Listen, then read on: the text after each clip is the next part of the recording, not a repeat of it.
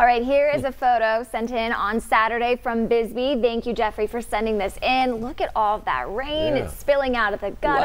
Whoa. That is a cool shot. Isn't that Uh, cool? There's something about it that's really. Looks like a painting. It Yeah. does. Is that I real?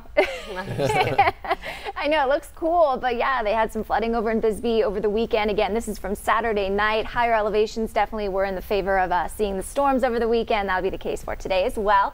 Thank you for sending that in, Jeffrey. A beautiful photo there. Uh, this one from Colleen Robertson. This is also on Saturday, a photo of the Tucson Mountains. This is a really, really pretty one. I love that shot. It's gorgeous. You can see that rain shaft really pretty with the, well, really good with the sunset in the background.